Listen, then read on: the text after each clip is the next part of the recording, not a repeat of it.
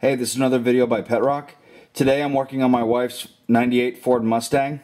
It's got a 7.5 rear end with a 2.73 gear ratio.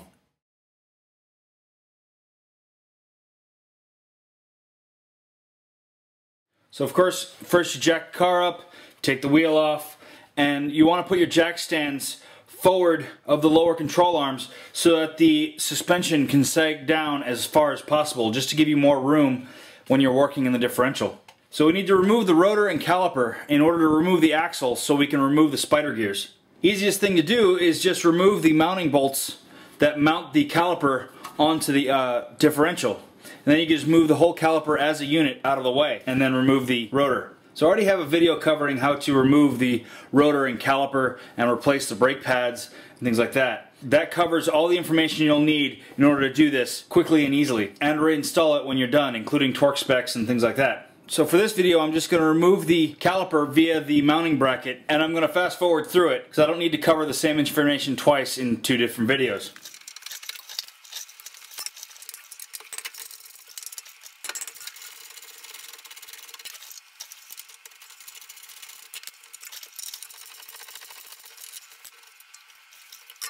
Because we're going to be working on the axle itself and banging around on the differential, it's a good idea to take a bungee cord or a piece of rope or something like that and tie up the caliper so that it doesn't fall. You don't, don't want to let the caliper drop and possibly damage the hoses in here. Now we remove the rotor. Now you can see a little easier how much free play there is in this differential due to the worn out spider gears. If your car has anti-lock brakes like this one does, you'll need to also remove the anti-lock brake sensor. Otherwise, you won't be able to push the axle in far enough in order to remove the C-clips inside the differential that hold the axle in place. It's very common for these things to get stuck and they're also fairly fragile because they're just made out of plastic. So you want to be careful when removing them. They're also pretty expensive for what they are. So I typically take some brake cleaner and hose down both sides and wipe it down this helps remove some of the crud that's in there so that the penetrating oil will have a chance to get in there. You also want to get the hole that the bolt holding the sensor on goes through. So next you want to get a reverse Torx bit. If you notice the star is inverted. In this case it's a Torx E8 and spin off the bolt. Then you wiggle the sensor. You might need to use a pair of uh, pliers or something to get better leverage. In my case, it's just sliding out. And you slide the sensor out and tuck it up out of the way. Then you do the same thing to the other side. Okay, next you need to rotate the carrier so that you can get to this bolt right here. You do that by putting the transmission in neutral and rotating the drive shaft by hand. So now you want to remove this locking bolt.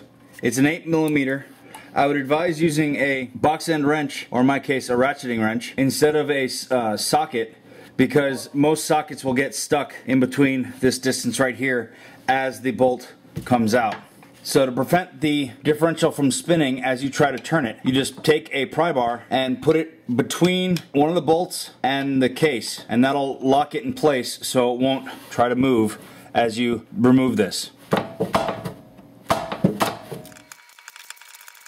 Now you may run into a problem like I have where this pin won't come out because it's hitting right here. The way I got it out was I rotated the drive shaft slightly so that the bolt lines up with this notch right here and it comes right out.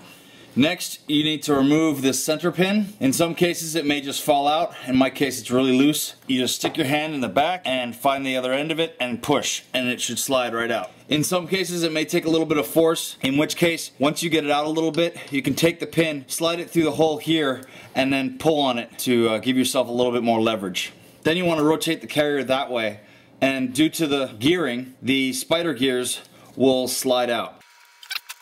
Push the other one through the other side and then pull it out. You need to remove little C-clips right here that hold the axle shaft in place. You do that by pushing the axle shaft inward like this and using a magnet or other type tool to pull it out like that. Then you do the same thing to the other side and now you remove the axle shafts. When you're pulling the axle shaft out you don't want it to drag against the inside of the differential tube so you want to support it as you're bringing it out.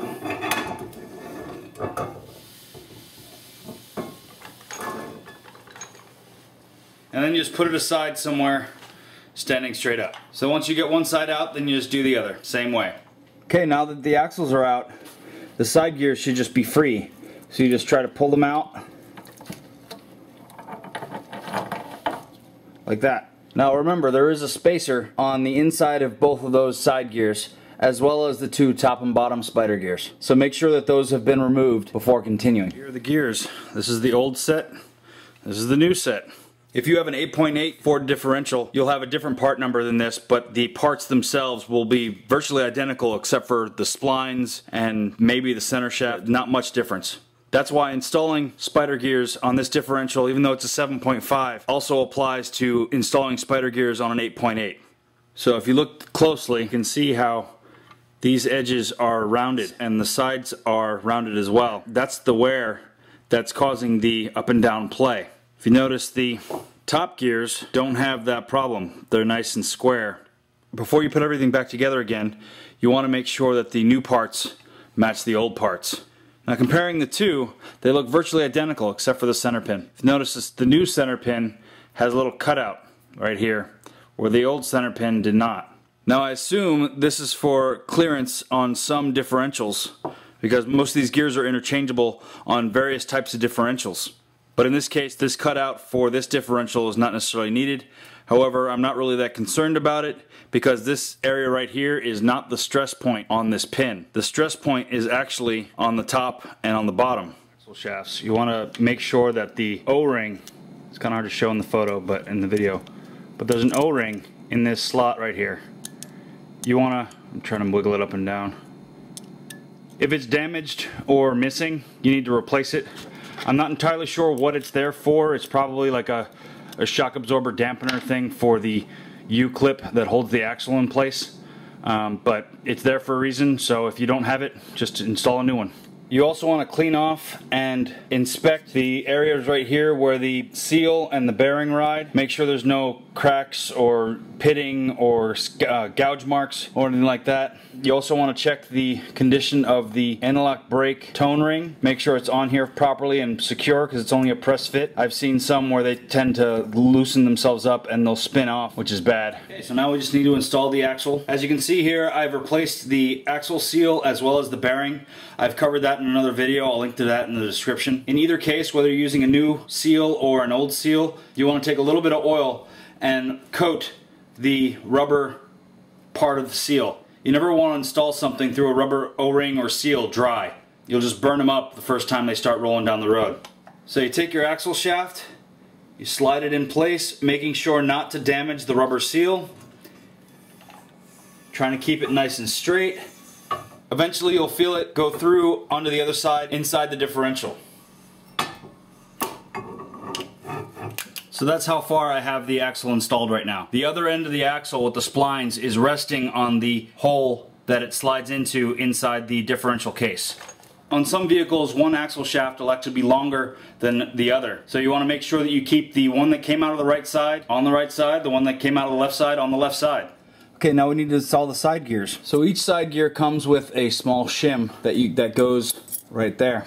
You want to coat that with a light coat of oil so that when it first starts rotating it's not going to be dry. You just need to cover it lightly a little coating of oil. I'd advise using gloves here too because again this oil stinks. Let's get a nice coating, put it on the back and then slide it into place. Now you can position yourself to hold the gear in place as you push the axle shaft into place like that. Then you take the C-clip, making sure it's nice and clean, and you slide it into place. like that. Then you push the axle shaft backwards to have it seat inside the side gear. So now as the axle turns, so too will the side gear. Then you do the same thing on the other side. So like with the side gears, you need to take the washer that comes with it and coat both sides with a little bit of oil. Then you take the washer, stick it on the back. It should hold itself there just based on its own spring pressure as well as the oil that you applied. So you take your top spider gear, you line it up within the gears. You then rotate it into place such that it's all the way in the back but without falling out. Then you want to take your hand, stick it through the back, rotate the entire assembly holding the top spider gear in place. You then take your bottom spider gear, you slide that into place. And this makes it so that you can align both halves together and still be able to manipulate things so that you can make sure that both halves are aligned and be able to put the center pin in place. In this case I need a little bit of an adjustment so I can rotate one half slightly, put the gear back in, and now I can slide it all the way through. That means that my spider gears are now lined up and I can rotate the entire assembly into place. So now you hold the spider gears from moving and rotate the entire assembly so that you can get access to this hole right here. So now you take your center pin, you lube it up nicely, and you slide it into place.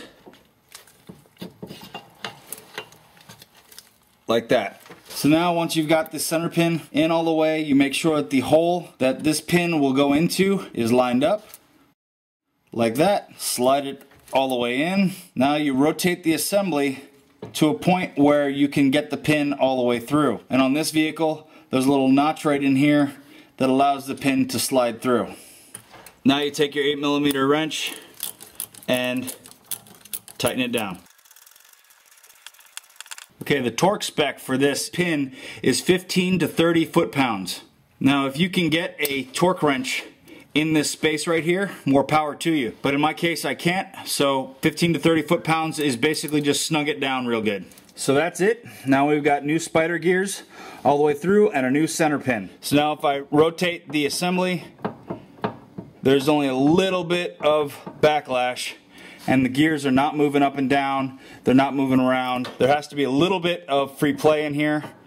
Like this is okay. If you notice, the amount of free play that I have in there is actually causing the other axle to rotate. So you rotate it around a little bit, make sure everything moves freely, everything meshes nicely. Back over to the axle and you reinstall your ABS sensor. Sliding into place, put a little dab of anti-seize on the end of the bolt to make it easier to remove later if you ever have to. Then you take your E8 Torx head socket and snug it down.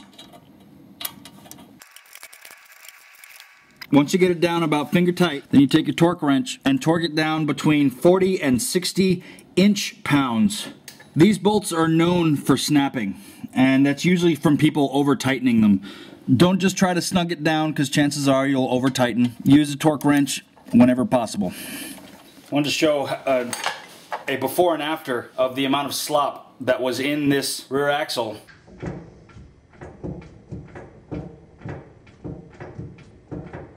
The amount of slop that's in here is the expected amount of backlash between the pinion gear and the ring gear. There's a little bit of backlash with the spider gears as well, but it's very minimal. Take a rotor, put it into place. What I like to do is I like to take one of the axle nuts, lug nuts, and spin it on all the way. This keeps the rotor from flopping around as I'm trying to get the caliper on.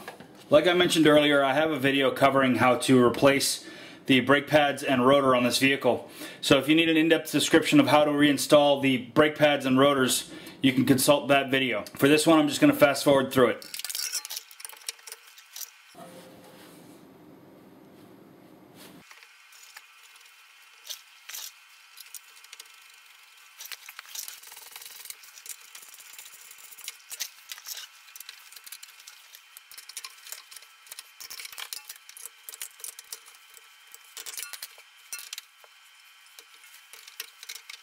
So the Spider Gear kit that I got came with a set of uh, break-in instructions. Yours may or may not come with it. The gist of it is just take it easy for a little while. And uh, but one key point is to change the differential oil after about uh, 500 miles to remove any metal particles or, or whatever from the break-in period. The rest of the procedure is just cleaning off this surface, putting the cover back on, filling it back up with oil. I cover that in my video about replacing the rear differential fluid on this vehicle. I'll link to that in the description. So I hope this video helped you out. If you have any questions, comments, or concerns, please leave them in the comment section below. If you like this video, please click the like button. If you want to see more videos like this, please subscribe.